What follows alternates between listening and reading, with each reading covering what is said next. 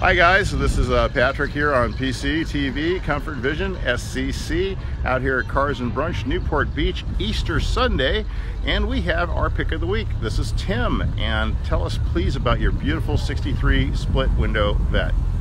I've owned the car for approximately 10 years. I bought it from a gentleman in Costa Mesa.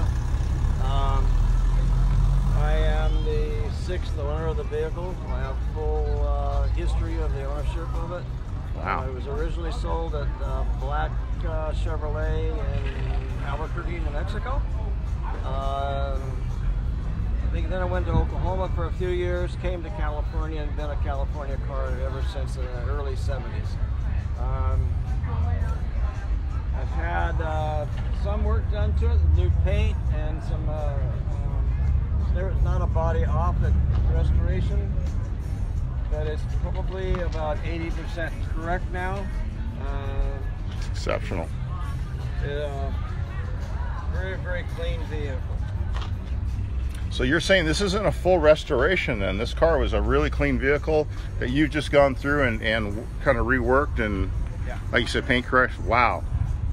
Uh, it's all numbers matching. Um, I have a lot of the early history uh, paperwork of the vehicle. Uh, we were able to locate the the original owner's son, and still lives in Albuquerque. Um, he's been out here numerous times and um, has been able to drive the vehicle. So uh, it's been fun to see how uh, how he's enjoyed uh, his, his youth again. That's amazing. Dad sold it when he was about 16 years old. And he drove it when he was 16? Yeah, Really? yeah.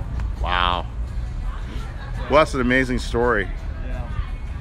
Um, it's not going anywhere, I take it. You're keeping it. Not right now. Uh, I'll probably reach the age uh, where I won't be able to get into it, and uh, probably at that time uh, sell it.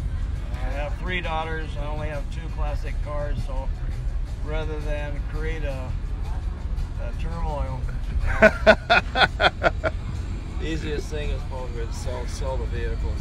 Let them split the cash. There you go. Well, thank you so much, Tim. You have a wonderful Yes, Easter sir. and sure do appreciate Thank it. you. Thank you.